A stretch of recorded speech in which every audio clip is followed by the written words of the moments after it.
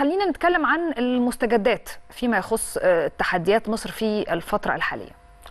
اولا لأول مرة في التاريخ الحديث وربما التاريخ القديم أيضا أن تواجه مصر من أربعة اتجاهات مختلفة.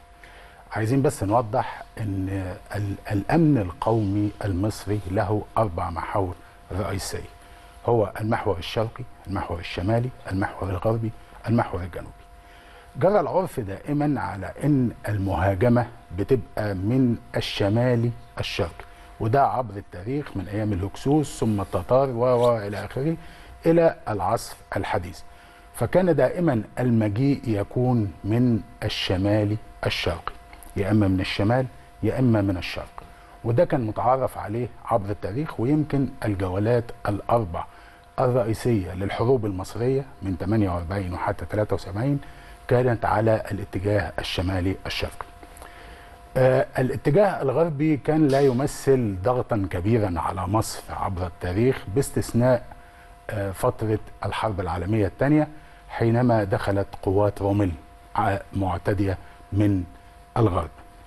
وبالمناسبة يعني وده معلومة كده انفرادية بسيطة هقولها دلوقتي إن حتى خطة القوات الإيطالية وقائدها جراتسياني اللي إحنا بنقول عليه آه، جرازياني آه، جراتسياني كانت ليه خطة مهمة جدا وهو داخل إلى شمال أفريقيا.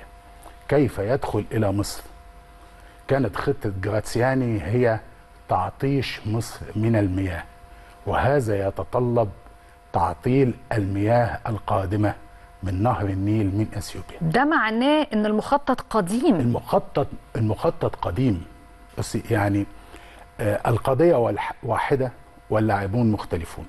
يعني لما يجي سيد درويش يقول لك من 100 سنة زي دلوقتي بلا أمريكا بلا أوروبا يبقى يعني ال ال ال ال القضية واضحة. صحيح. يتغير الأبطال المسرحية إنما العرض واحد بيعاد تمثيله والتجديد عليه وفقا لمعطيات العصر. طيب إيه اللي استجد في هذا الملف؟ اللي هو ملف المياه تحديدا وبدأت آه، السيطرة دلوقتي أو إن هم يبتدوا يبقوا فعلا يمثلوا تهديد علينا.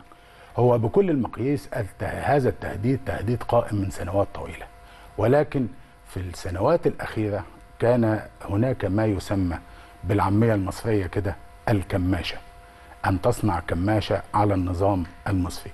ولكن تعال نشوف الكماشة ديت وصلت لإيه. هذا النظام الذي يواجه هذه التحديات في وقت واحد ومن أربعة اتجاهات رئيسية. صحيح. جميل. إضافة إلى التحدي الداخلي المتمثل في الاقتصاد والإصلاح الاقتصادي زائد التحدي المتعلق بالإرهاب وهو جزء من التهديد المتعلق بالمحاور الأربعة. يعني لما تيجي تشوفي هذه المحاور كيف تدار هتلاقي أن اللاعب الرئيسي فيها هو لاعب واحد.